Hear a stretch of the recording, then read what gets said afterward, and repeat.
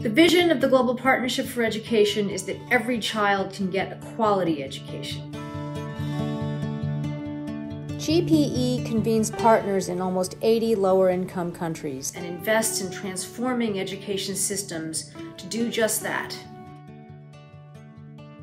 GPE brings together country partners, donors, international and civil society groups, teachers, the private sector, and foundations. And together, we focus on improving education for girls and those marginalized by poverty, displacement, or disability. To ensure every child's right to education is fulfilled, we need to work together as partners, both at global and at country level.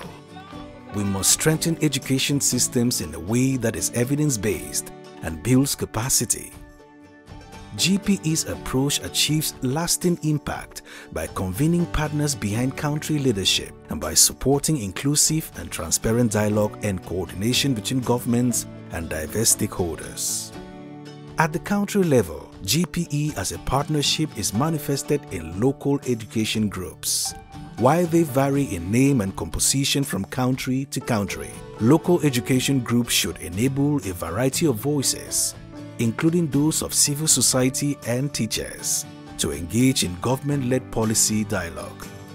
Local education groups are most effective when partners are fully committed and accountable for their roles and responsibilities in the partnership.